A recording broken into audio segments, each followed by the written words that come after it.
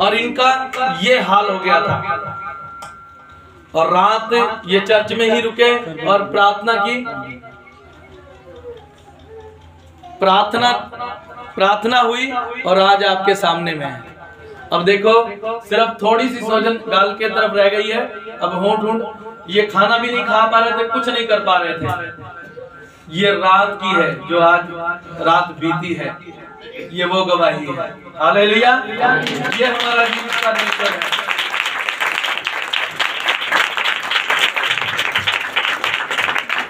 क्योंकि हम कह देते हैं, कोई जादू टूने नहीं होते हैं।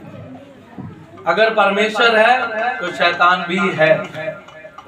जब परमेश्वर के काम है तो शैतान के काम भी हैं। हमें मानना पड़ेगा, अगर सूरज है तो अंधेरा भी है।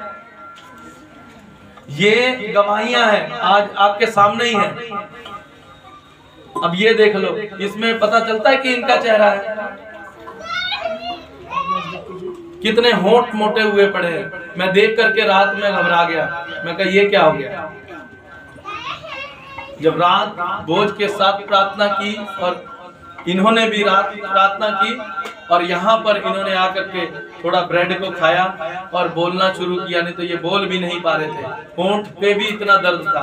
आप देख सकते हैं कि होंठ कितने मोटे हो चुके हुए हैं।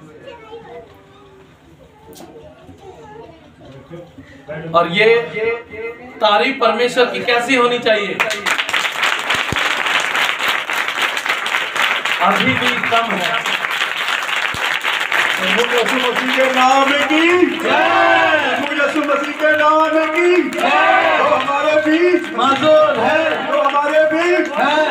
परमेश्वर का दिल से धन्यवाद करता हूँ कल शाम को साढ़े चार बजे मेरे साथ ये हादसा हुआ। उसके बाद फिर बहुत परेशान हो गया ड्यूटी से आया। ड्यूटी से आते ही पूरा मेरा मुँह सूज गया। फिर दुकान भी नहीं खोल पाया। फिर मैंने पास्टर जी को फ़ोन कर सर ऐसी ऐसी बात हो गई। तो कहे घंटा घर गए हुए थे संभाल लेंगे उसके बाद हम सीधा चले आए यहीं पे। मम्मा के पास आए तो मम्मा ने देखा कि मेरे पापा बेटे क्या हो गया, क्या हो गया? बैठाया इन्होंने मुझे अपने पास। इतने मेरा मुँह पूरा बंद था, मैं बोल नहीं पा रहा था। मम्मा को इशारे से बता रहा था कि ऐसे ऐसे हुआ है। लेकिन फिर भी मम्मा ने ज़बरदस्ती मेरे लिए साग बनाया, रोटी बनाया, बेटा तू खा। अब मैं मम्मा बोल नहीं पा रहा तो खाऊँगा कहाँ से? इन्होंने मेरे सर पे हाथ रखा कि बेटा अब तू खाएगा।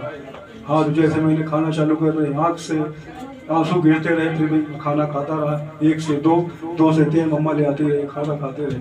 रात में हमारे लिए फ्रेट हुई, सारी रात हम यहीं रहे। सुबह साढ़े आठ बजे गए घर। एकदम हम, मेरा हालत चंगा हो गया है और मेरे ऊँट की बीमारी खत्म हो चुकी है। मैं परमेश्वर का दिल से धन्यवाद करता हूँ। सबको जय मसीह की मेरी तरफ़ से जोरदार जोरदार